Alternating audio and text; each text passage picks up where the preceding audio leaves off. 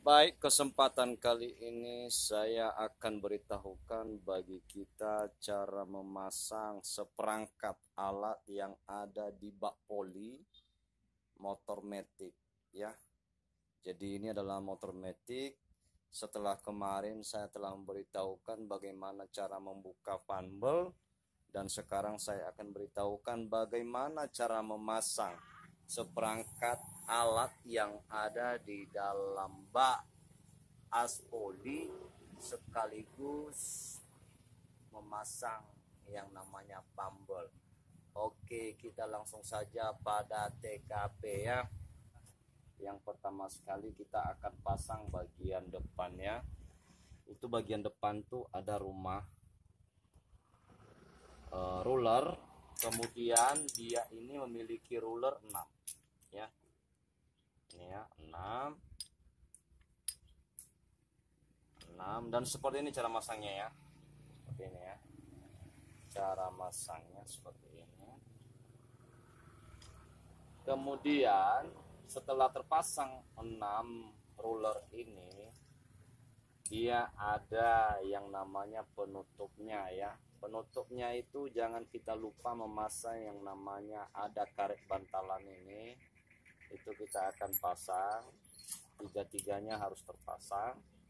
Dan setelah terpasang kita akan masukkan dia ke sini ya untuk menutup ruler.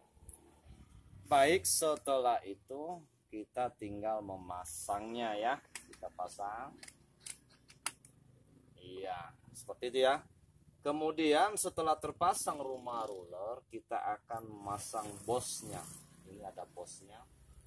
Kita pasang.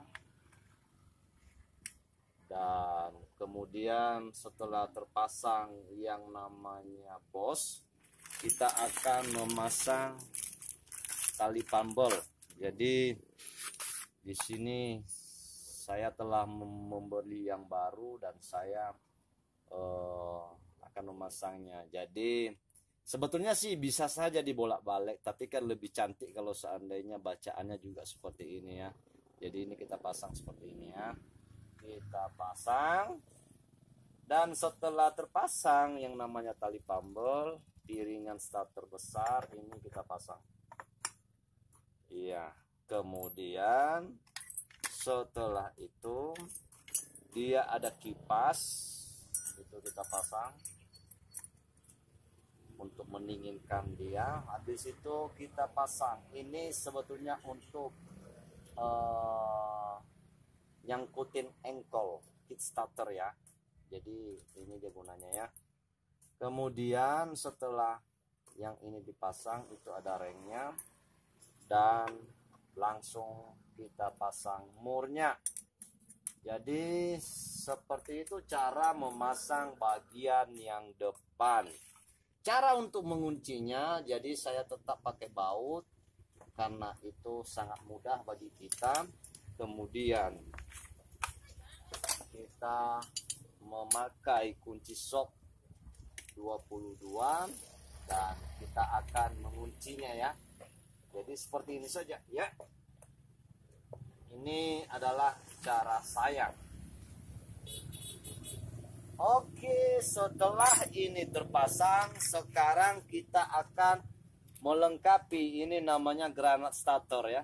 Granat starter itu kita pasang dan kemudian penutupnya jangan lupa itu kita pasang juga. Oke, bagian yang depan sudah selesai, kita memasangnya. Baik, sekarang ini kalau seandainya kita akan memasang bagian poli belakang, otomatis kalau seandainya kita tidak akalin, ini tidak bisa akan masuk ya.